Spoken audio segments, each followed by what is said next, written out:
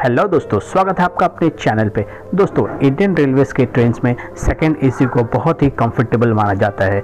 इस कोच में ट्रैवल करने पे आपको बहुत अच्छी सुविधाएँ मिलती है। तो आज के इस वीडियो में हम आपको बताने वाले हैं कि इंडियन रेलवेज के सेकेंड ए कोच में यात्रियों को कौन कौन सी सुविधा मिलती है। तो चलिए दोस्तों, इस वीडियो को स्टार्ट करते हैं और इसके बारे में आपको पूरी जानकारी देते हैं विस्तार से। दोस्तों सेकेंड ए का कोच बहुत ही कम्फर्टेबल होता है। इस कोच में ट्रैवल करना बहुत आरामदायक रहता है as compare to other coaches like sleeper class हो गए या फिर जनरल क्लास हो गए। सेकेंड एसी कोच का किराया जो होता है, वो नॉर्मल दूसरे क्लासेस से ज़्यादा होता है। सेकेंड एसी के कोच में आपको एक कैबिन में चार सीट्स मिलेंगे, जैसे कि लोअर अपर और उसके ऑपोजिट लोअर अपर और साइड में दो सीट रहता है साइड लोअर और साइड अपर वहीं पे हम बात करें दोस्तों थर्ड एसी की, उसमें टोटल छः सीट्स होते हैं। लोअर मिडल अपर और उसके अपोजिट सेम सेकेंड एसी में मिडल बर्थ नहीं रहता है।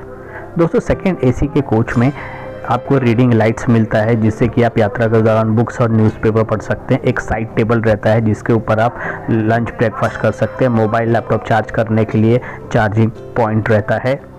इसके जो विंडोज़ रहते हैं विंडोज़ बड़े रहते हैं विंडोज़ पे कर्टन्स लगे रहते हैं।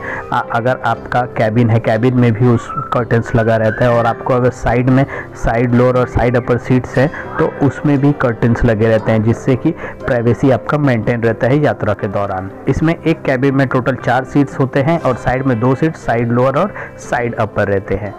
सेकेंड एसी में यात्रा के दौरान आपको लेनन प्रोवाइड किया जाता है जैसे कंबल चादर तकिया बेडशीट पिल्लो अपर सीट पे जाने के लिए साइड में एक सीढ़ी रहता है, उस सीढ़ी पे चढ़ के आप अपर सीट या साइड अपर सीट पे जा सकते हैं। सेकेंड एसी का कोच पूरी तरह से वातानुकूलित रहता है, यानी फुल्ली एयर कंडीशन रहता है। सेकेंड एसी के कोच में कोच अटेंडेंट रहते हैं, जो कि आपको यात्रा के दौरान सहायता करते हैं। आपको किसी चीज़ की भी रिक्वायरमेंट होती है, वो आपको उपलब्ध करवाते हैं। वहीं कोच अटेंडेंट ही आपको लिनन प्रोवाइड करते हैं यात्रा के दौरान। दोस्तों, इन कोचेस के सीट्स के साइड में वाटर बॉटल होल्डर रहता है, जहाँ पे आप अपना वाटर बॉटल रख सकते हैं और लोअर सीट के नीचे आप अपना लगेज रख सकते हैं और साइड लोअर सीट के नीचे आप अपना लगेज रख के यात्रा कर सकते हैं। दोस्तों सेकेंड एसी कोच की साफ़ सफ़ाई भी अच्छे से की जाती है। यहाँ पे क्लीनिंग स्टाफ रेगुलर इंटरवल्स पे आपके कोचेस की साफ़ सफ़ाई किया करते हैं। वहीं बात करें वॉशरूम की, इन कोचेस में टोटल चार टॉयलेट्स दिए गए हैं। उनकी भी साफ़ सफ़ाई अच्छे से की जाती है। दोस्तों, अगर ट्रेन में पेंट्री कार अवेलेबल है तो आप पेंट्री कार से यात्रा के दौरान फ़ूड लेके खा सकते हैं। और सेकेंड एसी में आप ऑनलाइन फ़ूड ऑर्डर करके भी खाना अपने सीट पर मंगा सकते हैं। वहीं पे बात करें दोस्तों, अगर आप प्रीमियम ट्रेन के सेकेंड एसी कोच में ट्रैवल कर रहे हैं ये, जैसे कि राजधानी एक्सप्रेस हो गए, दुरंतो एक्सप्रेस हो गए, तेजस एक्सप्रेस हो गए, इन ट्रेनों में सेकेंड एसी कोच में खाना जो है पेंट्री कार्ड से प्रोवाइड किया जाता है और जिसके लिए आपको पैसे देने की ज़रूरत नहीं पड़ती है, क्योंकि इसका पैसा टिकट में ही इंक्लूड किया जाता है। और वही, और वहीं पे आप अगर मेल एक्सप्रेस ट्रेन में ट्रैवल कर रहे हैं, वहाँ पे आपको पेंट्री कार्ड से फ़ूड लेने के बाद आपको उसके लिए पैसे देने पड़ते हैं। दोस्तों सेकेंड एसी कोच में आपकी सुरक्षा का भी अच्छा ख्याल रखा जाता है। यहाँ पे आर पर्सनल रेगुलर इंटरवल्स पे आपके कोचेस की राउंड लगाते रहते हैं। एक खास बात यह है कि सेकेंड एसी कोच में आउटसाइड वेंडर्स जो रहते हैं स्टेशन पे या फिर बाहर के, वो नहीं आ सकते हैं, जिससे कि यात्रियों को कोई भी परेशानी नहीं होती है। दोस्तों, अगर आपको सेकेंड एसी कोच में ट्रैवल करना हो तो इसके लिए आप टिकट ऑनलाइन आईआरसीटीसी की वेबसाइट आईआरसीटीसी का मोबाइल ऐप या फिर स्टेशन पर टिकट विंडो काउंटर पर जाकर बुक कर सकते हैं। दोस्तों सेकेंड एसी का कोच सारे मैक्सिमम सारे मेल और एक्सप्रेस ट्रेन में रहते हैं और प्रीमियम ट्रेन में भी रहते हैं।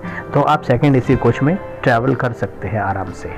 दोस्तों, बात करें भीड़ की तो सेकेंड एसी कोच में भीड़ बिल्कुल भी नहीं रहता है। इसमें सिर्फ़ कंफर्म टिकट वाले ही पैसेंजर ट्रैवल कर सकते हैं। और जैसे कि हमने देखा है कि थर्ड एसी या फिर स्लीपर क्लास में बहुत भीड़ रहती है। और जनरल क्लास की तो बात ही कुछ और है। उसमें तो ज़बरदस्त भीड़ रहता है। वहीं पर सेकेंड ए में इतना भीड़ नहीं रहता है। दोस्तों, अगर आपको आराम से ट्रैवल करना है कंफर्टेबली ट्रैवल करना है और आपको भीड़ भाड़ बिल्कुल पसंद नहीं है तो आप सेकेंड एसी में ट्रैवल कर सकते हैं। इसमें आपको पूरा कंफर्ट मिलेगा। बट वहीं पे बात करें किराए की तो सेकेंड एसी का किराया ज़्यादा होता है as compare to third AC और स्लीपर क्लास तो दोस्तों, आपने कभी सेकेंड एसी में ट्रैवल किया है? अगर किया है तो आपका ट्रैवल एक्सपीरियंस कैसा रहा? वो आप हमें कमेंट में ज़रूर बताएँ। दोस्तों, ये थी जानकारी कि सेकेंड एसी कोच में यात्रियों को क्या क्या सुविधाएँ मिलती है। तो चलिए दोस्तों, इस वीडियो को हम यहीं पर समाप्त करते हैं। आपको ये वीडियो कैसा लगा, आप हमें कमेंट में बताएँ। और अगर नए हैं आप हमारे चैनल पे तो हमारे चैनल को ज़रूर सब्सक्राइब करें, वीडियो को शेयर और लाइक करें। और आपके अगर कोई भी सवाल हो तो आप हमें कमेंट में लिखे, हम उसका आंसर देने की भरपूर कोशिश करेंगे। तो चलिए, हम मिलते हैं आप लोगों से अपने अगले नए वीडियो में। तब तक के लिए बाय बाय, टेक केयर, जय हिंद।